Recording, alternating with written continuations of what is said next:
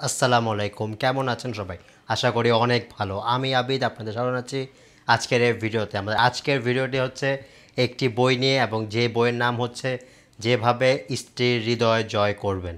তো এই বইটি কিন্তু আমাদের হয়তো অনেকের কাছে খুব ভালো লাগবে কারণ স্ত্রীর হৃদয় হচ্ছে এমন এক হৃদয় সেটাকে নাকি জয় করা প্রায় অ্যাভারেস্ট জয় করার থেকেও আরও কঠিন হতে পারে। আমার কাছে যা মনে হয়। কারণ এই হৃদয় জয় করতে গেলে আমার কাছে মনে হয় যে পৃথিবীর সব হৃদয় হার মেনে যাবে, তবুও এই হৃদয় জয় করা প্রায় অসম্ভব। কারণ এটি হচ্ছে এটি সারা জীবনের সফর নামার মতো যে আপনি চলতে থাকবেন, এই জয় হবে, আবার এই মনে হবে আপনি হেরে গেলেন। এই জয় হবে, আবার মনে হবে আপনি হেরে গেলেন।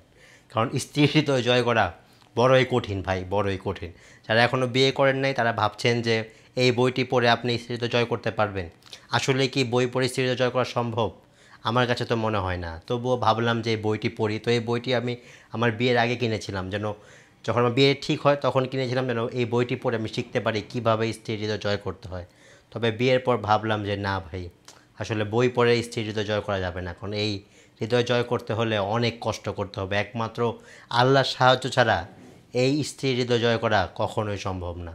তবু আমি বলব এই বইটিতে কেন পড়বেন বা এই বইটি আপনাদের কেন পড়া উচিত? তা হচ্ছে যে এই বইটিতে কিছু কথা লেখা আছে, যা কোরআন হাদিসের কথা লেখা। তো অবশ্যই তা আমাদের জন্য ভালো হবে, কারণ কোরআন হাদিসে তো আর মিথ্যা কথা লেখে না, সত্য কথাই লিখে, আর যা বলা থাকে তা তো আমাদের অবশ্যই যদি আমরা ব্যবহার করতে পারি বা মানতে পারি, তা আমাদের ভালোর জন্যই।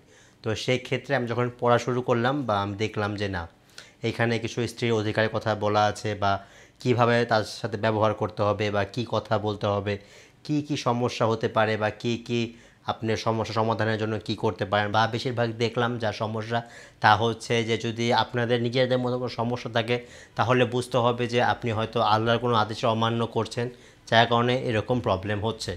তো আপনারা যদি আল্লাহর কথা শোনেন বা আল্লাহর আদেশ নিষেধ মানেন, তাহলে আপনাদের সমস্যা হবে না। কারণ দিন শেষে এবং দিনের শুরুতে সবসময় আমাদের এটাই মাথায় রাখা উচিত যে আমরা যাই করি না কেন সব কিছু কিন্তু আল্লাহর সাহায্য ছাড়া সম্ভব না।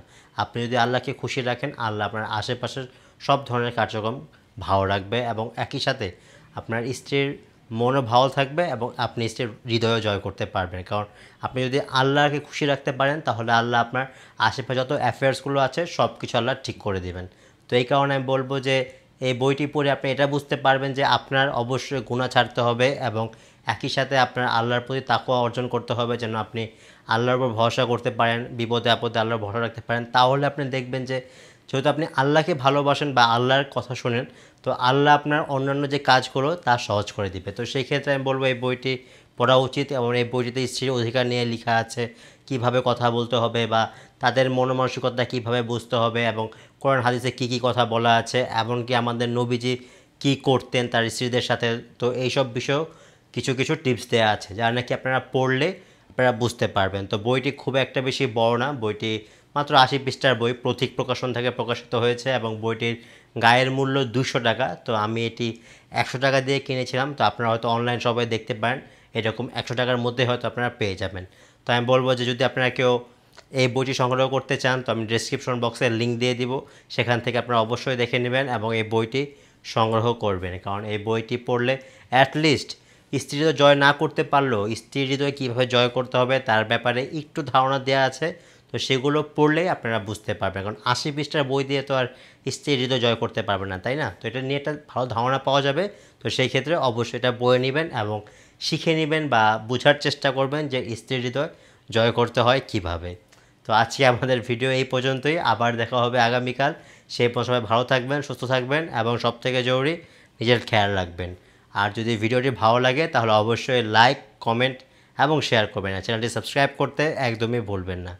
তো আবার দেখা হবে আগামীকাল। আসসালামু আলাইকুম সবাইকে।